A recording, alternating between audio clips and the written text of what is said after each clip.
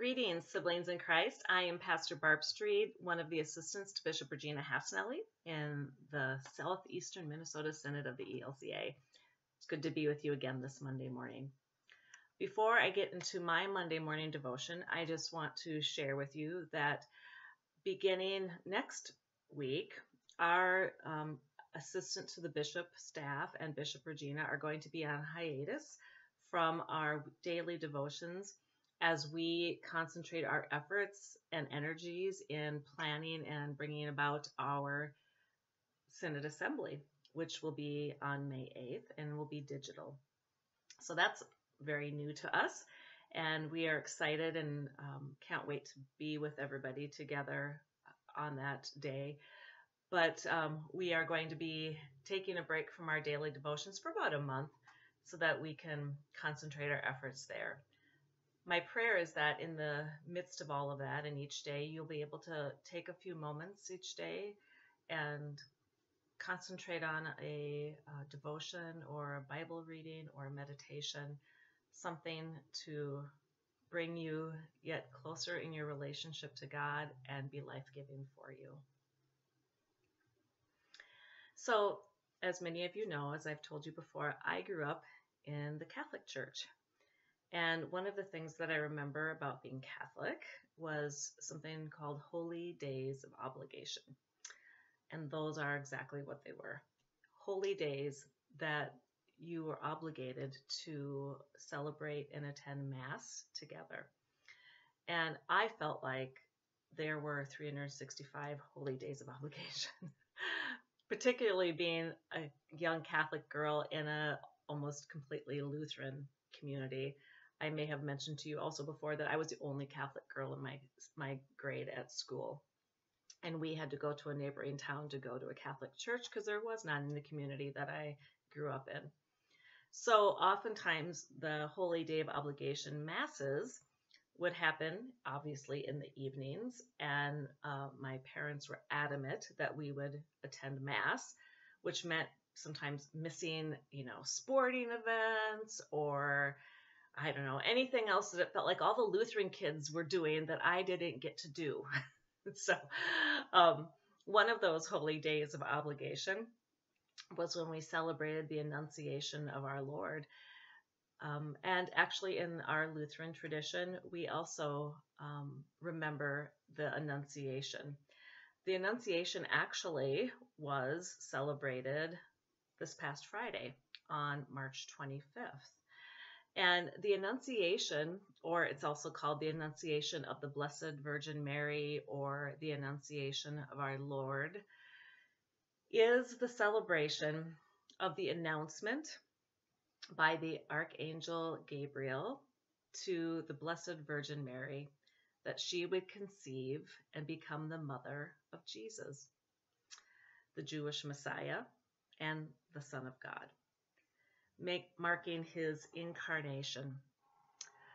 Gabriel told Mary to name her son Jesus, which meant Yahweh is salvation. And according to Luke uh, chapter 1, verse 26, the Annunciation occurred in the sixth month of Elizabeth, Mary's cousin, pregnancy with John the Baptist. And many Christian um, uh, different Christian uh, denominations observe this event with it's called the Feast of the Annunciation, um, and it's approximately, um, excuse me, the approximation of the northern vernal equinox, nine months before Christmas, which makes sense, right? Because you are pregnant for nine months. Um, the Annunciation is a key uh, key part of the story of God with us. I'd like to read to you um, from Luke, the Gospel of Luke, um, the Annunciation story. We are in Luke chapter 1, starting verse 26. In the sixth month, the angel Gabriel was sent by God to a town in Galilee called Nazareth, to a virgin engaged to a man whose name was Joseph, of the house of David. and the virgin's name was Mary. And he came to her and he said, Greetings, favored one, the Lord is with you. But she was much perplexed by his words and pondered what sort of greeting this might be. The angel said to her, Do not be afraid, Mary, for you have found favor with God. And now you will conceive in your womb and bear a son, and you will name him Jesus. He will be great and will be called the Son of the Most High, and the Lord God will give him the throne of his ancestor David. He will reign over the house of Jacob forever, and of his kingdom there will be no end. Well, Mary said to the angel, How can this be, since I'm a virgin? The angel said to her, The Holy Spirit will come upon you, and the power of the Most High will overshadow you. Therefore, the child to be born will be holy, and he will be called the Son of God. And now your relative Elizabeth, in her old age, has also conceived a son. And this is the sixth month for her who was said to be barren. For nothing is impossible with God. Then Mary said, Here am I the servant of the Lord. Let it be with me according to your word. And then the angel departed from her. One of the callings I have here in the Synod office is that I work with call process, which means I work with congregations who are looking for pastors and pastors who are looking for congregations. And part of that process is sometimes we have what's called an interim pastor, who is the transitional pastor in between those two things coming together. So every month I meet with our interim pastors, and this past month it was um, on Friday, the Annunciation Day of our Lord. And one of the interims shared a devotion, and it was this one. And um, part of what we were instructed to do was just think on that text and listen and, and hear what comes out to us. And so I did. And it was read to us twice. And both times, the phrase that really struck me is simply two words favored one. The angel Gabriel said, Greetings, O favored one. And then later said, Mary, do not be afraid, for God has found favor on you. I thought about that term and I thought, gosh, if somebody came to me and said, guess what? You are God's favored one. What would that mean to me? Like, how do we define that short phrase, favored one? You know, at first I, I start to think, oh my gosh, I'm, I'm the lucky one. Like, this is going to be great. Um, you know, favored makes you feel like um, special. Um, I think of happiness. I think of, um, you know, being able to um, have support, and, and I don't think of negative terms when I think of favored one. So I was thinking about that, being the favored one or having favor found in you. And then I started thinking about this week, which is Holy Week.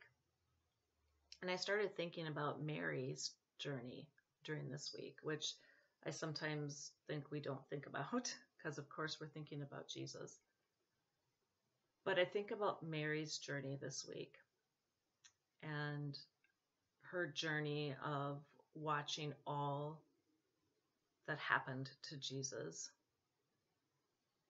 that led him to the cross.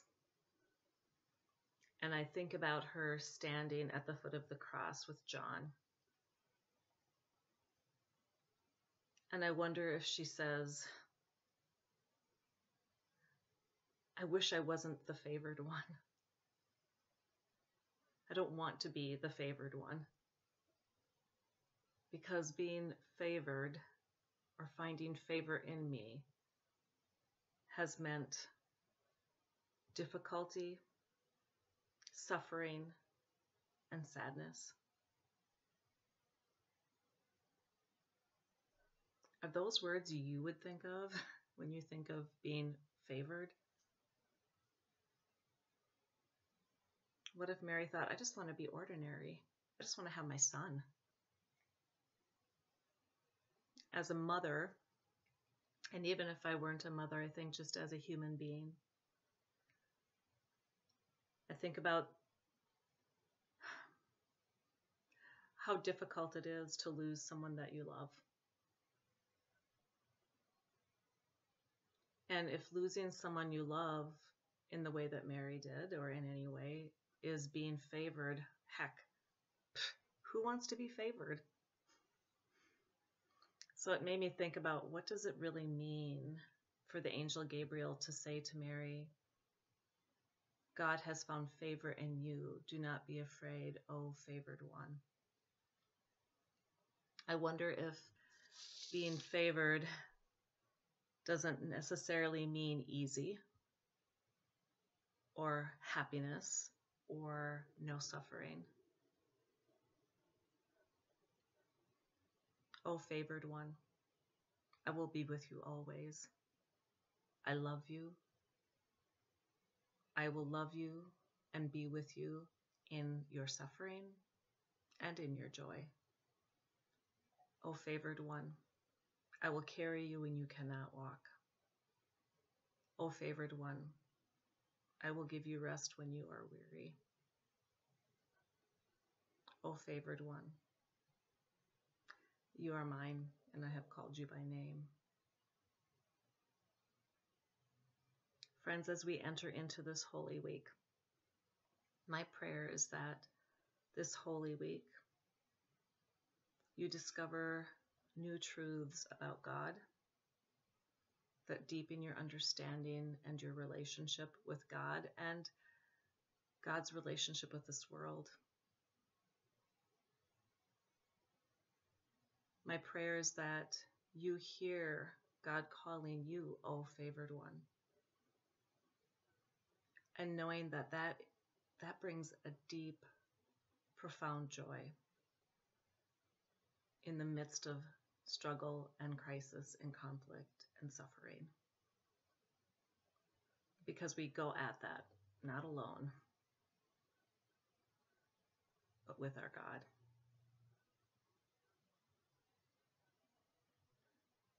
Jesus traveled this week, and his mother watched that. Oh, favored one never walking a step alone, always being carried by God. May it be so for you, may it be so for me as we walk this Holy Week together. In Jesus' name, Amen.